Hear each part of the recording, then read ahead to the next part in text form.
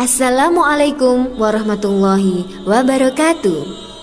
Alhamdulillahirrabbilalamin. Salawat salam untuk Rasulullah Sallallahu alaihi wasallam.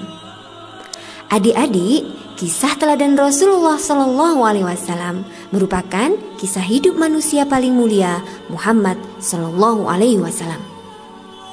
Pernahkah kalian membacanya lalu meneladaninya?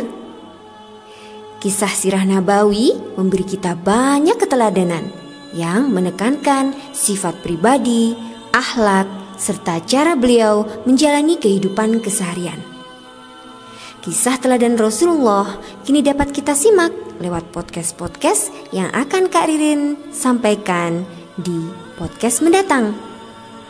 Adik-adik bisa mendengarkannya bersama keluarga. Tunggu podcast selanjutnya ya. Terima kasih. Wassalamualaikum warahmatullahi wabarakatuh.